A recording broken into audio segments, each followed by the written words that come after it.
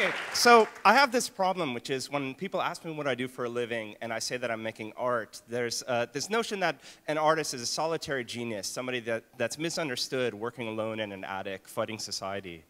And, uh, and I think we really need to fight against this. And I would argue that art is really like a laboratory, that artistic practice is a form of research, like a company has an R&D department, that art making is like R&D. So I'm going to talk to you a little bit about the art and then about how we, we work together and collaborate. We make different projects. This is a project called IQ Font, which was made with a stunt driver. Um, I wrote software that, uh, that turned the movements of the, the car into a typeface that you can download. Um, so we do all these kind of weird, strange collaborations. This was a, a, project called Nightlights, where we took the movements and gestures of people's bodies and, and amplified them on the building, creating the situation where passerbys could become performers and, and actually perform their silhouettes on, on, on a building. But a project that's really dear to my heart is a collaboration with, with many people, um, members of the Open Frameworks community, the Graffiti Research Lab, and, and especially this guy on the left side, um, Tempt. And Tempt is a, a, graffiti artist from LA. And he is an old school legend, uh, a legend from the 80s and 90s in um, South Cal and North Cal, um, graffiti legend. And he was diagnosed seven years ago with Lou Gehrig's disease, which is a disease that attacks your body. So seven years ago, he was walking down the street and fell over. And now he's completely paralyzed. So we went out to LA, we met him, we showed him the kind of work that we do, what our community is about. And we got to know Tony, we got to know his condition, um, and really get, get to, you know, a feel for, for how to work with him.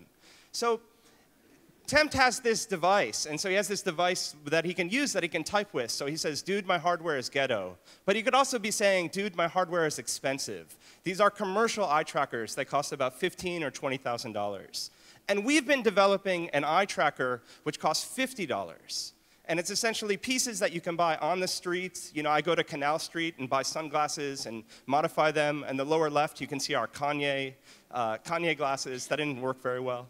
Um, and, and we've also been designing software. So thinking about Tony's love of letter forms, his, the way he likes to communicate, and designing software that would allow Tony to express himself the way he used to on, on the walls or trains or just, just anywhere. So here's Tony using our system. And as you can see, it's a very primitive system. It's glasses that, that you wear. Um, and it's, it's essentially an, an eye tracking system that Tony uses by moving his eyes. And what he does with his eyes is that he plots points, and from points he makes lines, and from lines he makes letters, and from letters he makes words. And then once he's made a word, he can shade it and add shadows and add color and add the kind of the, the language of graffiti. And then when we had a system where Tony could draw, we said, what is the next step? And the next step was to actually go out on the streets and project what Tony was drawing. So Tony would be in the hospital drawing, and we would go out on the street and project live what the artwork that he was making. And then we would stream it back in so that Tony could make a drawing and then it would go live on the streets of LA on the side of a highway and we would stream it back into the hospital room so that Tony could see what he was doing. Tony said, That's the first time I've drawn anything since 2003. It feels like taking a breath after being held underwater for five minutes. And for me, I think that, you know, each one of us in this room, we have the things that make us who we are. And, you know, to imagine what it would be like to lose that and then to get that back. And Tony is rocking these amazing letter forms now. So he's take our software and really pushed it.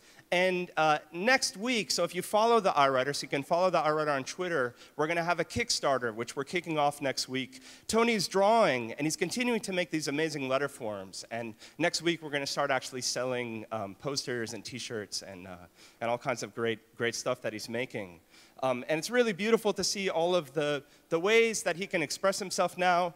Um, we've even taken the, the, the, data from his drawings and we've, we've hooked it up to a robot, a robotic arm. You can see the top left corner, that's our dream. Um, and I'm teaching a class. So I teach at Parsons School of Design, and this semester I've been teaching a class uh, with 12 amazing students, and we've been looking at the EyeWriter and really developing the 2.0 version, just trying to figure out new, new ways to expand the hardware and the software and, and develop it and push it further. The last thought I want to end with is this kid who, we, when we were out in LA, he was kind of hanging out with us, and here he's made his own EyeWriter. And I just want to suggest this as the power of art to inspire the next generation. Um, this idea of uh, that we really need to be collaborating and doing it with others.